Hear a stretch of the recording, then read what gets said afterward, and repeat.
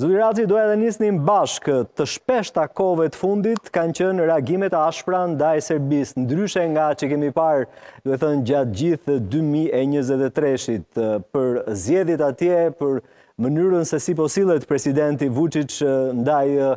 qytetarëve të tij, për gjithashtu edhe në procesin e dialogut. A mund themi se ka ndryshuar tashmë qasja e Bashkimit Europian ndaj Serbisë Po futemi në një epokë të re? Jo, unë nuk besoj që ka ndryshu raporti i Bashkimit Europian, sidomos me, me Serbinë, sepse po të ishte ndryshuar, Serbia do të ndëshkohej dhe zbatimi i planit franko-gjerman dhe aneksit të Ohrit do t'i vendosej përfundimisht samitin e fundit si pjesë e obligimeve që ka Serbia dhe një gjë e tillë nuk ndodhi fatkeqësisht. dhe unë po shpresoj që gjatë këtij muaji Bashkimi Europian do të ndërgjegjësohet edhe më shumë dhe do ta ndëshkojë Serbinë sepse shikoni kryeterroristi Radojiçiç ende është i lirë së bashku me grupin e tij mbi 30 terroristë të tjerë dhe se ata çdo ditë çdo moment mund ta sulmojnë përsëri Kosovën andaj ata madje u raportua në mediat serbe se